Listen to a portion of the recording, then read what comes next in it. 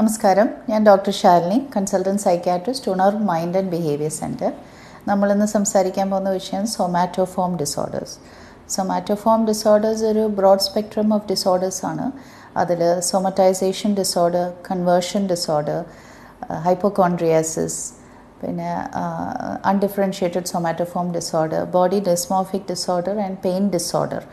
ഇതൊക്കെയാണ് ഇതിൽ കണ്ടുവരുന്ന കണ്ടീഷൻസ്.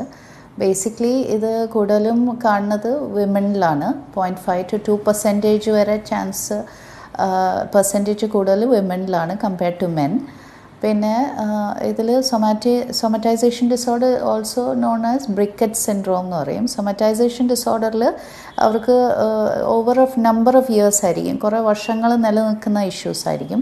അവർക്ക് കൂടുതലും ബോഡിയിൽ വരുന്ന സിംറ്റംസ് ഇങ്ങനെ ചേഞ്ച് ചെയ്തുകൊണ്ടിരിക്കും. എന്തെങ്കിലും അസ്വസ്ഥതകൾ ശാരീരികമായിട്ടുള്ള ബുദ്ധിമുട്ടുകൾ അതാണ് കൂടുതലും സോമറ്റൈസേഷൻ ഡിസോർഡറിൽ കാണുന്നത്. കൂടുതലും പാരമ്പര്യം ഇതിൽ മുഖ്യമാണ് ഫസ്റ്റ് ഡിഗ്രി ഫാമിലി റിലേറ്റീവ്സിൽ എന്തായാലും ഈ കണ്ടീഷൻസ് റിലേറ്റഡ് ആയിട്ടുള്ള conditions major depressive disorder anxiety disorders family ഹിസ്റ്ററിയിൽ കാണും. ജനറലി സൊമാറ്റോഫോം ഡിസോർഡേഴ്സ് സൊമറ്റൈസേഷൻ ഡിസോർഡറിൽ ദേ ആർ വറീഡ് അവർ കൂടുതലും സിംറ്റംസിനെ പറ്റിയാണ് വറിയുന്നത് അവർക്ക് ഡ്രഗ് ഇൻടേക്ക് പല പ്രാവശ്യം ഹോസ്പിറ്റലിൽ പോവുക പല ഡോക്ടേഴ്സിനെയും കാണുക ഇതൊക്കെ ഹിസ്റ്ററിയിൽ എടുക്കുമ്പോൾ പല പ്രാവശ്യം പല വട്ടവും ആശുപത്രിയിൽ പോയിട്ടതായിട്ടുള്ള പോയിട്ടുള്ളതായിട്ട് നമ്മൾ അറിയാൻ പറ്റും. പിന്നെ അവർ പല പ്രാവശ്യവും ട്രീറ്റ്മെന്റ് വൈസ് അവർക്ക് ട്രീറ്റ്മെന്റിനോട് താല്പര്യമുണ്ട്. ഡ്രഗ് ടേക്ക് ഡ്രഗ് ഇൻടേക്ക് ചിലപ്പോൾ കൂടുതലായിരിക്കും. അവർ ഡ്രഗ്സിനെ കൂടുതൽ ഡിപ്പെൻഡ് ചെയ്യാൻ തുടങ്ങും.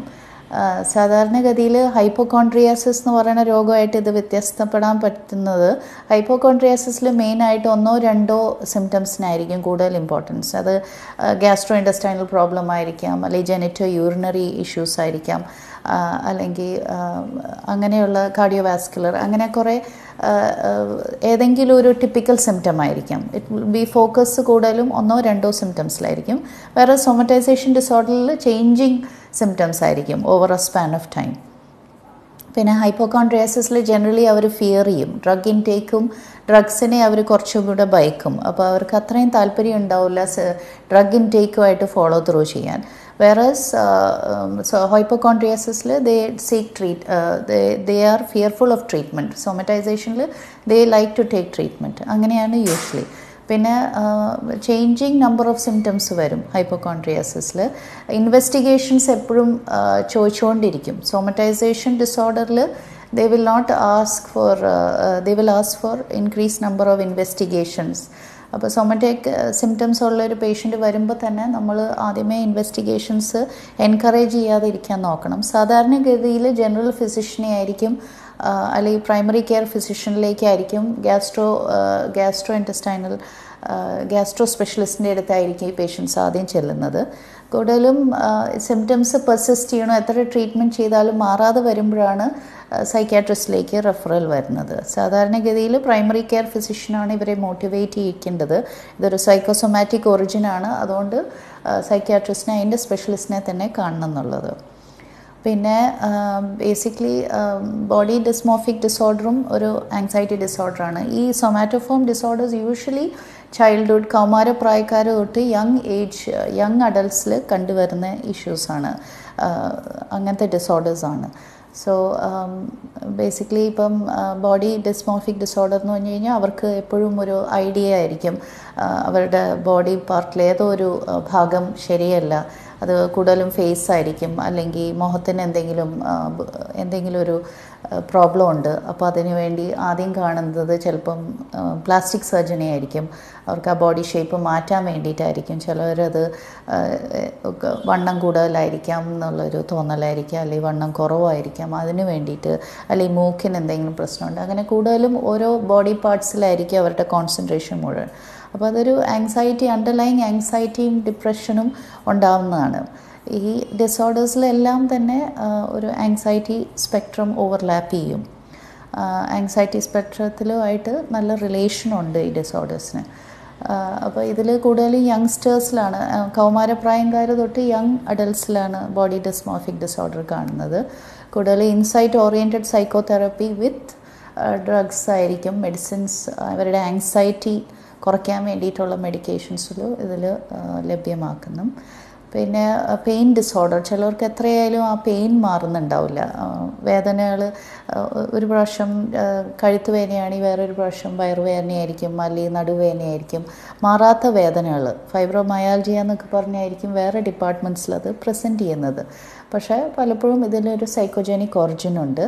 ആങ്സൈറ്റി ആയിരിക്കും അണ്ടർലൈൻ ഇഷ്യൂ ആങ്സൈറ്റിയും ഡിപ്രഷനും ഇതിൽ അണ്ടർലൈൻ ഫീച്ചേഴ്സാണ് മെയിൻലി മോഡ് ഓഫ് ട്രീറ്റ്മെന്റ് തെറപ്പിയാണ് ബിഹേവിയർ തെറപ്പിയാണ് നമ്മൾ ബിഹേവിയർ തെറപ്പി കൂടാതെ മെഡിക്കേഷൻസ് ടു അലീവിയേറ്റ് ആങ്സൈറ്റിയാണ് ഈ സ്പെക്ട്രം ഓഫ് ഡിസോർഡേഴ്സിൽ തന്നെ മെയിൻ മൊഡാലിറ്റി ഓഫ് ട്രീറ്റ്മെന്റ് സൈക്കോതെറപ്പിയാണ് ബിക്കോസ് അവരുടെ ആ തെറ്റിദ്ധാരണകൾ ആ കോഗ്നേറ്റീവ് ഡിസ്റ്റോർഷൻസ് മാറ്റാൻ നമ്മൾ ബിഹേവിയർ തെറപ്പി കൊടുക്കേണ്ടി വരും.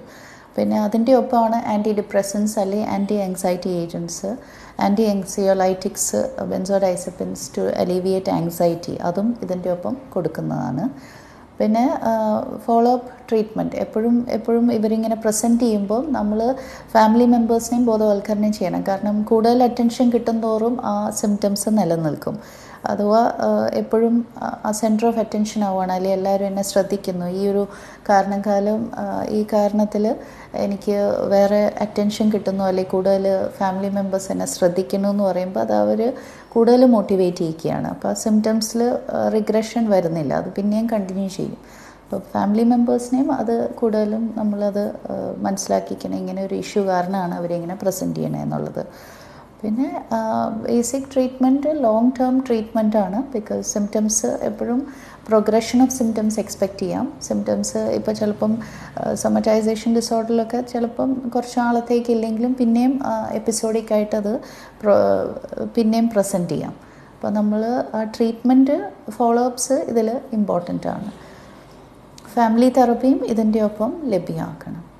സൊമാറ്റോഫോം ഡിസോർഡേഴ്സ് ആങ്സൈറ്റി ഡിസോർഡേഴ്സ് പോലെ തന്നെ ഒരു സ്പെക്ട്രമാണ് ഇതിൽ അൺഡിഫറൻഷ്യേറ്റഡ് സൊമാറ്റോഫോം ഡിസോർഡേഴ്സിൽ നമുക്ക് ആക്ച്വൽ കോസ് എവിടെയാണെന്ന് പിൻ പോയിന്റ് ചെയ്യാൻ പറ്റിയില്ലെങ്കിലും ദർ വിൽ ബി ഇങ്ങനത്തെ സിംറ്റംസും ആങ്സൈറ്റി സിംറ്റംസും നിലനിൽക്കും.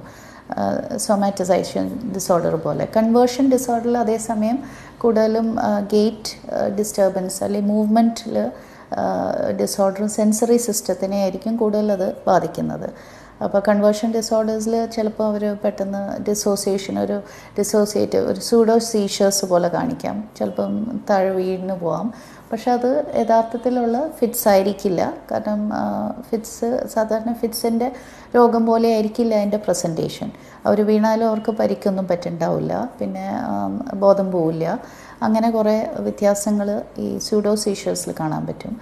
മെയിനായിട്ട് investigations E G electroencephalogram ഒക്കെയാണ് ഇതിൽ മോ മൊഡാലിറ്റീസ് ഇൻവെസ്റ്റിഗേഷൻ മൊഡാലിറ്റീസ് നമുക്കതിൽ എന്തെങ്കിലും ഒരു ന്യൂറോളജിക്കൽ ഒരു ബേസിസ് ഉണ്ടോ ഇല്ലയോ എന്ന് തിരിച്ചറിയാൻ പറ്റും. പിന്നെ അഗൈൻ സൈക്കോതെറപ്പി ഇൻസൈറ്റ് ഓറിയന്റഡ് സൈക്കോതെറപ്പിയും പിന്നെ മെഡിക്കൽ മാനേജ്മെന്റും ഇതിൽ ഇമ്പോർട്ടന്റ് ആണ്. ഫിറ്റ്സ് എന്നുള്ള ഒരു ഇതല്ല അവർക്കുള്ളത്. മറിച്ച് അണ്ടർലൈങ് ആങ്സൈറ്റിയും ഡിപ്രഷനും ആയിരിക്കാം. അതുകൊണ്ട് അതിന്റെ ട്രീറ്റ്മെന്റ് ആന്റി ഡിപ്രസൻസും ആങ്സിയോലൈറ്റിക് ഏജൻസ് ബെൻസോഡൈസിപ്പിൻസും ഇതിൽ കൊടുത്തു കഴിഞ്ഞാൽ ഒരു പരിധി വരെ അത് കൺട്രോൾ ചെയ്ത് പോകാൻ പറ്റും.